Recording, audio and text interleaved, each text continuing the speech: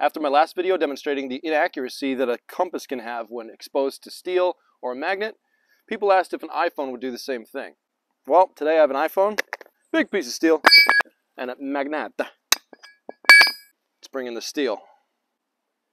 This is a very large piece of steel. I just bumped it. Not even when I put it over the top, hopefully closer. Steel is not affecting it at all. Let's try the magnet.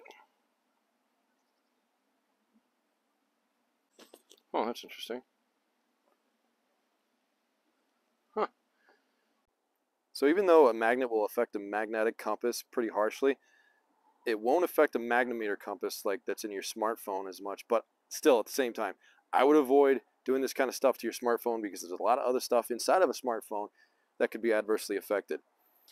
So don't try this at home, but it doesn't seem to affect it too bad. Just recalibrate it. Thanks for watching.